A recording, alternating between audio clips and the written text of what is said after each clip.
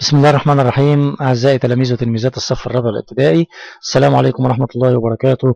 الآن مع درس جديد من دروس القراءة مادة اللغة العربية ألا وهو درس الأقصر أم الحضارات. تعالوا معا نقرأ الفقرة الأولى من الدرس مخزن الحضارة القديمة. سأل بساط الريح ماذا تعرف يا بكار عن مخزن الحضارة المصرية القديمة؟ بكار هل تقصد مدينة أسوان؟ بساط الريح لا إنها ليست مدينة أسوان بل مدينة الأقصر التي تضم أكثر من ثلث آثار العالم. وبالمناسبة يا بكار الأقصر هي طيبة عاصمة مصر في قديم الزمان. آه، نتناقش في الفقرة كلمة تضم معناها تحتوي على أي أن مدينة الأقصر تحتوي على أكثر من آه، ثلث آثار العالم. كلمة القديمة مضاد الحديثة حضارة قديمة مضادها حضارة حديثة. كلمة مدينة مفرد والجمع مدن. ما المقصود بمخزن الحضارة القديمة؟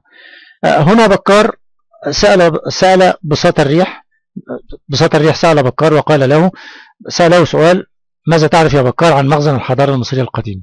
فما المقصود بمخزن الحضارة المصرية القديمة؟ آه، بكار كان يعتقد أن مخزن الحضارة المصرية القديمة هي مدينة أسوان. فبساط الريح صلح له أو صحح له المعلومة وقال له إنها ليست مدينة أسوان ولكنها مدينة الأقصر لأنها آه، لأنها تضم أكثر من ثلث آثار العالم. والمقصود من مخزن الحضارة القديمة هي مدينة الأقصر وسميت بهذا الاسم أو أطلق عليها هذا الاسم لأنها تضم ثلث ثلث أو تلت آثار العالم. ومدينة الأقصر بالمناسبة هي مدينة طيبة عاصمة مصر في قديم الزمان في عهد أحمس في عهد الفراعنة. الفقرة التالية. آه، أولا ماذا تعرف يا بكار؟ ما نوع هذا الأسلوب؟ ما نوع هذا الأسلوب؟ إنه أسلوب استفهام. استفهام لماذا؟ لأنه بدأ بأداة استفهام وختمت الجملة بعلامة استفهام. الفقرة التالية ما هي الأقصر؟ الأقصر هي طيبة. عاصمة مصر في قديم الزمان. بكار نعم نعم. لقد تذكرت الآن ما قرأت عنها إن الأقصر جمع قصر وقد أطلق عليها العرب هذا الاسم مع بداية الفتح الإسلامي لمصر وقرأت أيضا أنها مشتى سياحي في مصر ومركز جذب لعشاق الحضارة الفرعونية. بساط الريح صدقت يا بكار هيا بنا نحلق فوق مدينة الأقصر. آه، كلمة تذكرت مضاد نسيت. تذكر شيء عكسه نسى الشيء. الأقصر جمع قصر. آه، مشتى مضاد مصيف مشتى أي أن السياح يذهبون إليها في فصل الشتاء. مضادها مصيف أي أن السياح يذهبون إليها في فصل الصيف. نحلق هيا بنا نحلق أي هيا بنا نطير. هي مركز جذب أي مركز شد لعشاق الحضارة الإسلامية. آه، آه، لعشاق الحضارة الفرعونية. ماذا تعرف عن الأقصر؟ الأقصر أولا هي مدينة طيبة عاصمة مصر في قديم الزمان. والأقصر جمع كلمة قصر وقد, وقد أطلق عليها العرب آه، هذا الاسم مع بداية الفتح الإسلامي وأنها أيضا مشتى سياحي وأنها مركز جذب لعشاق الحضارة الفرعونية. وبساط الريح قال لبكار صدقت يا بكار فهي بنا نحلق فوق مدينة الأقصر. آه، طيب لماذا سميت الأقصر بالأقصر؟ لماذا أطلق عليها الاسم هذا الاسم؟ لأن آه، لأنها أولا جمع قصر ثانيا أن العرب أطلقوا عليها هذا الاسم مع بداية الفتح الإسلامي الفقرة التالية آثار الأقصر. بكار انظر انظر هذه بوابات إلكترونية حول جميع المواقع الأثرية المفتوحة لتأمينها ضد السرقة. بساط الريح هذه أفواج كثيرة من السائحين. إنهم يقفون في انبهار أمام معبد الأقصر ومعبد الكرنك ومقابر, ومقابر وادي الملوك والملكات والمعابد الجنائزية ومقابر الأشراف. وهذا معبد الملكة حتشبسوت الذي يسمى أيضا معبد الدير البحري. المناقشة كلمة تأمينها. آه، المراد أنها جعلها في أمان في أمن وأمان. المواقع جمع والمفرد موقع. كلمة أفواج جمع والمفرد فوج. أقول هذا فوج من السائحين. كلمة انبهار معناها دهشة وتعجب.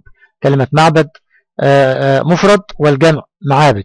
كلمة مقابر قلنا أنها جمع والمفرد مقبلة مقبرة. ما الأثار الموجودة؟ أو ما المعابد الموجودة في آه، آه، الأقصر. المعابد الموجودة في الأقصر عندي معبد الكرنك وعندي المعابد الجنائزية وعندي مقابر الأشراف ومعبد الملكة حتشبسوت الذي يسمى أيضا معبد الدير البحري. ما فائدة البوابات الإلكترونية الموجودة في آه، المواقع الأثرية؟ فائدة البوابات الإلكترونية أنها تجعل هذه المواقع الأثرية المفتوحة تجعلها في أمان. وهذه البوابات وضعت لتأمين هذه المواقع الأثرية ضد السرقة. سؤال آخر ما هو معبد الدير البحري؟ معبد الدير البحري هو معبد الملكة حتشبسوت ويسمى بمعبد الدير البحري. سؤال آخر اذكر أهم آثار الأقصر. اذكر أهم آثار الأقصر. أهم آثار الأقصر معبد الأقصر معبد الكرنك ثلاثة مقابر وادي الملوك والملكات أربعة المعابد الجنائزية خمسة مقابر الأشراف ستة معبد الملكة حتشبسوت. مرة أخرى أعزائي التلاميذ ممتاز. معبد الأقصر معبد الكرنك مقابر وادي الملوك والملكات المعابد الجنائزية آه، مقابر الأشراف معبد الملكة حتشبسوت الذي يسمى أيضا معبد الدير البحري.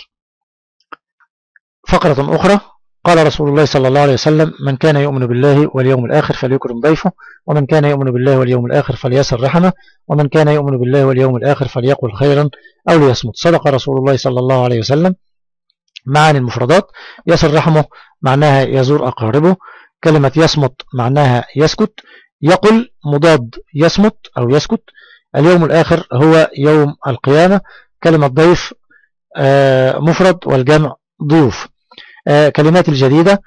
هنا تجميع لمعاني المفردات التي وردت. كلمة تأمينها أي جعلها في أمان. كلمة أعماق التاريخ معناها التاريخ القديم جدا. يسر رحمه يسأل عن أقاربه أو يزورهم. اليوم الآخر هو المقصود آه، به يوم القيامة. كلمة يصمت معناها يسكت. كلمة إعجاب معناها دهشة وانبهار. كلمة إجلال معناها تعظيم وتقدير. خلاصة الدرس. أن الأقصر أم الحضارات. السائحون يقدرون عظمة أجدادنا ومعابدهم. وهي مخزن آه، الحضارة المصرية القديمة لأنها تضم ثلث آثار العالم. وهي نشتة ومركز جذب العشاق آه، آه، الحضارة الفرعونية. وبها آثار عظيمة مثل المعابد والمقابر ومقابر الملوك والملكات. كيف يأتي السؤال في هذا الدرس يا أحبابي؟ هات كلمات تنتهي بحرف الألف أو الياء كالمثال. جرى نريد أن نأتي بكلمات تنتهي بحرف آه، آه، الألف اللينة مثل كلمة جرى. عندي مشى رمى سعى هدى وهناك العديد من الكلمات مثل هذه الكلمة. كلمة اهتدى اهتدى. نريد كلمات تنتهي بحرف الألف اللينة مثل كلمة اهتدى. ممتاز إني أسمعك. فتح الله عليك. اقتدى افتدى اعتدى. كلمة دعا. دعا. ممتاز فتح الله عليك. دنا سما على صفا. سؤال آخر أجب عما يأتي. ضع عنوانا آخر للدرس. من منكم يعطينا عنوانا آخر للدرس؟ ممتاز فتح الله عليك. يمكن أن أقول مخزن الحضارة يمكن أن أقول عظمة آثارنا. ما أهم الآثار التي في مدينة الأقصر؟ ممتاز. معبد الأقصر معبد الكرنك معبد الديل البحري اللي هو معبد حتشبسوت المعابد الجنائزية مقابر وادي الملوك والملكات ومقابر الأشراف. السؤال ده مهم جدا. معبد الأقصر معبد الكرنك معبد الديل البحري معبد حتشبسوت المعابد الجنائزية مقابر وادي الملوك والملكات مقابر الأشراف. أجب عما يأتي. لماذا وضعت بوابات إلكترونية حول المواقع الأثرية؟ فكر معي. نفكر معا لماذا وضعت بوابات إلكترونية حول المواقع الأثرية فتح الله عليك؟ أي نعم لجعلها في أمان لتأمين المواقع الأثرية وحمايتها ضد السرقة. سؤال آخر. بما يشعر السائحون تجاه آثارنا ولماذا؟ بما يشعر السائح تجاه آثارنا؟ ممتاز فتح الله عليكم جميعا. يشعرون بانبهار ودهشة. لماذا يشعرون بهذا الانبهار وهذه الدهشة؟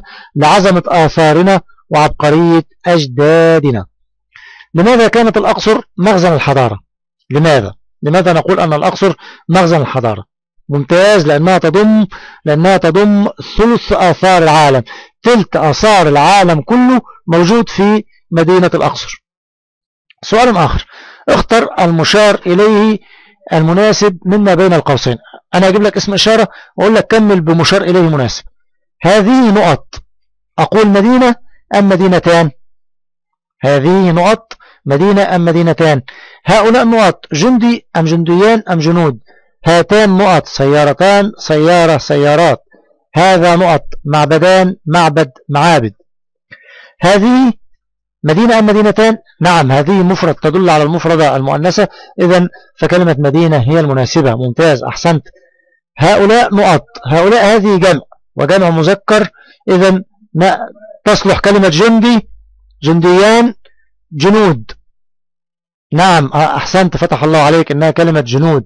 هاتان نقط. سيارتان سيارة سيارات. هاتان تدل على المفرد المثنى المؤنث وبالتالي فإنها تصلح لها كلمة. ممتاز. سيارتان أحسنت فتح الله عليك. هذا نقط. معبدان معبد معابد. هذا مفرد مذكر. إذا فالمشار إليه هنا المناسب هو كلمة ممتاز فتح الله عليكم جميعا. إني أسمعك لا تتردد إنها كلمة معبد. رتب كلمات كل سطر لتكون جملة مفيدة. هذا تعبير. آه، نحن نحاول أن نقوم بالربط بين جميع فروع اللغة العربية من خلال دروس القراءة. آه، ننتقل إلى النحو وننتقل إلى التعبير وأحيانا الإملاء إذا فرتب كلمات كل سطر لتكون جملة مفيدة. تشير إلى المصري عبقرية الأقصر. الترتيب ممتاز ممتاز. أحسنت. الأقصر تشير إلى عبقرية المصري أو تشير الأقصر إلى عبقرية المصري. آه، الجملة الأخرى أو السطر الآخر نحلق مدينة فوق نحن الأقصر. نحاول أن نفكر معا. نبدأ بجملة اسمية مثلا. ممتاز. نبدأ بكلمة نحن. ممتاز. فتح الله عليك. فتح الله عليك. نحن نحلق فوق مدينة الأقصر. السطر التالي أو ممكن نحولها لجملة فعلية نحلق نحن فوق مدينة الأقصر. العالم تضم الأقصر آثار ثلث. العالم تضم الأقصر آثار ثلث. هذه كلمات غير مرتبة. نحاول أن نرتبها لكي نخرج منها بجملة مفيدة. نحاول أن نجعلها جملة اسمية. آه الأقصر تضم ثلث آثار العالم. وإن حاولنا أن نجعلها جملة فعلية تضم الأقصر. ممتاز أحسنت. فتح الله عليكم جميعا. تضم الأقصر الأقصر ثلث آثار العالم. إلى هنا أعزائي تلاميذ وتلميذات الصف الرابع الابتدائي نكون قد وصلنا إلى نهاية درسنا آه، اليوم. ومع نفهم نتعلم ببساطة. والسلام عليكم ورحمة الله وبركاته.